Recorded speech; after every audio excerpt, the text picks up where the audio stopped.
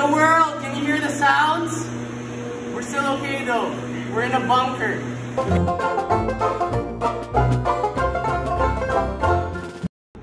What's up guys? Welcome to KGitsu. So new topic, we're on the mount. Okay, so let's talk about like in a street fight where I can actually hit him because it will be so different if it's just grappling. So if I'm here with Master Pat on the bottom on the mount, it's kind of hard to not want to hit him, right? Yeah. Because it will oh, help set up a lot of our submissions. Because today we're going to talk about the straight arm lock or the Juji Gatame from the mount. So from here, when I want to punch this guy to set up his arms, I don't want to sit on him like this. Because if I sit on Master Pat and he raises his hips or moves his yeah. hips, I'm now looking for my base. You see that? He's controlling me when my hip sits on him. However, when I before I start to punch, if I lift my hips up and I put the weight on my knees to the ground with my feet hidden behind these um, uh, below the hip line, right on the glutes. Now when Master Pat lifts the hips, I can hook under. See? Yeah, it's tough. His hips want to go down. It's very painful. And if he tries to off balance me, go ahead You can't. Now I can freely hit. You see that how I hold and I pound the body, the head. You can go in the middle. You can really throw down. Now, whenever the hands go up, that gives you the opportunity to isolate. So how do I isolate? First, I drop my body beside the tricep. Here. Now I move.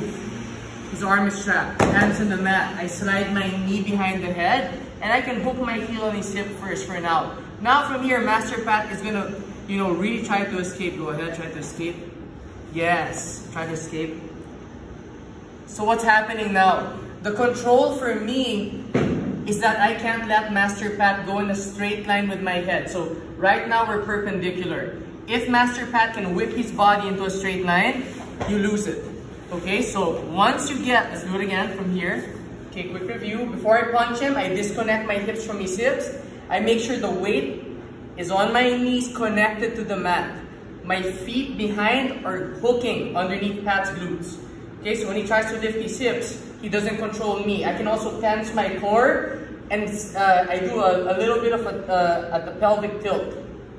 Yeah, so yeah, it's bad for Pat. And I start hitting him, and then when I'm ready, when I see the hands go up, look, I can push, but he can resist, resist. There, so it's my body that goes to the side. Then now I look and I move my head. My head leads the way to trap the arm. Putting my hands in the mat. When my hands are on the mat and the weight that the weight is on my hands or are on my hands, now I can slide my knee behind his head. Okay, on the, the arm that I'm isolating or trapping. And then look, this heel will stay tight first. I'm not gonna move my knee yet. Look at this hand. I have to control Master Pat's head. So if I control his neckline, he can't sw uh, swing to a, you know, a parallel position with me. Go ahead. Escape. For real, bro. Yeah, it's tight. So I'm holding him in place. You see it? And if I need extra help, I can always pop my foot out. Right? Go ahead, escape, Master Pat. It's tough. It's tough. Now from here, look, if I want the Juji Gatame or the straight arm lock, I have two options. From here, watch. I'll show you what we call the head side hug.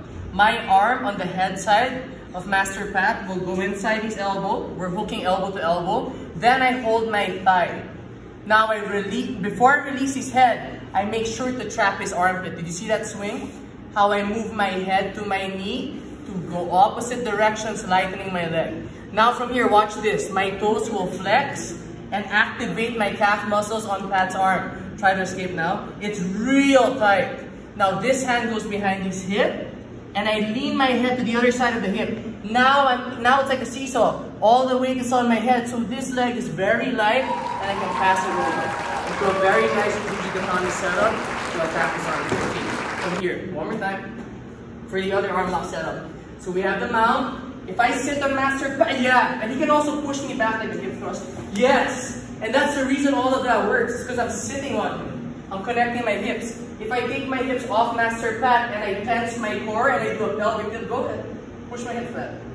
It's real heavy now. You see that? And from here I can lay down the strikes. Boom, once the arms are up, look. It's more if your hands are gonna hold, resist that. Hold and then your body takes over, resist. I can't push with my chest, no you can resist, no. It's my head, resist back. When my head moves, your arm is killed. Because my entire body weight can turn. Hands go on the mat. Knee slides behind the head. Once more, control the neckline. So you put the collar tight. You hold the back of his neck and you put your elbow on his collarbone. Sorry, Pat. Good. Now he's sandwiched between my knee and hand. Escape. Everything is tight. Escape, escape, escape. It's difficult now. So now from here, watch. Before I release the collar tie, I make sure that I trap his near arm. This is the south side, the head side hug. You can also go with the torso hug. So for the torso hug, watch. You will switch the control and now hug. It's the end of the world. Can you hear the sounds? We're still okay though. We're in a bunker. Okay, so watch. Good. Now look, from here my leg can swing. My head leans once more, lightening this leg. And from here, I can swing my leg over right into Juji Gatame. Another good set of butt with torso control as the hugging mechanism. To finish this, stay tuned on the next episode. I hope we still see you guys because that sounds like the apocalypse is coming, guys. If you can hear it, it's intense. Cool? Boom.